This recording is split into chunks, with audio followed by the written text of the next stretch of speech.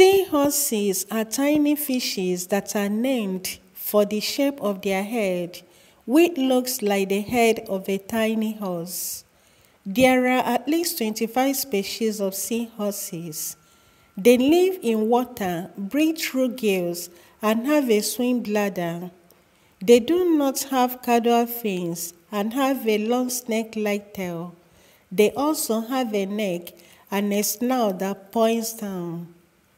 Seahorses have excellent eyesight and their eyes are able to walk independently on either side of their head. This means they can look forward and backwards at the same time. This is particularly useful as they hunt for food by sight. Seahorses are poor swimmers.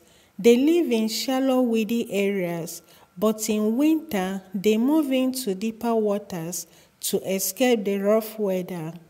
They are mostly found in the tropical and temperate coastal waters, swimming upright among seaweed and other plants.